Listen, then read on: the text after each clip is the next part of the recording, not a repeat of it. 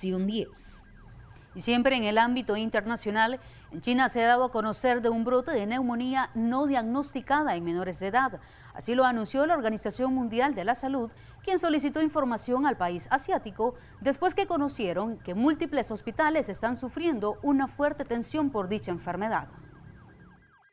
La Organización Mundial de la Salud ha anunciado que solicitó oficialmente información a China sobre un brote de neumonía no diagnosticada en menores de edad en el norte de ese país. La OMS ha pedido conocer las tendencias recientes en la circulación de patógenos conocidos y la carga actual de los sistemas de atención sanitaria, entre otros puntos. Esto luego de que la noticia de que múltiples hospitales en China están sufriendo una fuerte tensión por un brote de neumonía infantil no diagnosticada en varias ciudades, incluyendo Beijing. El Sistema de Vigilancia Mundial emitió una notificación indicando un brote de esta enfermedad respiratoria en niños, sugiriendo que la enfermedad podría estar circulando en entornos escolares dada la ausencia de casos en adultos.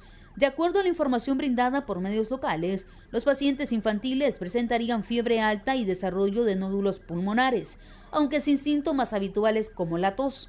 La hipótesis de que el brote esté vinculado a neumonía atípica gana fuerza, ya que este patógeno ha mostrado un aumento en China tras el primer invierno sin las estrictas medidas de confinamiento por COVID-19. Medios internacionales indican que países como Reino Unido y Estados Unidos también han experimentado incrementos en enfermedades respiratorias tras el levantamiento de restricciones pandémicas. María